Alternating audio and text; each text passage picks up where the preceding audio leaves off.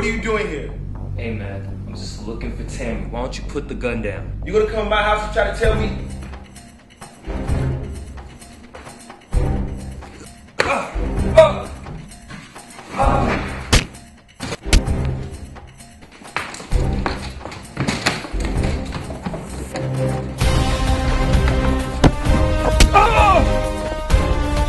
Oh!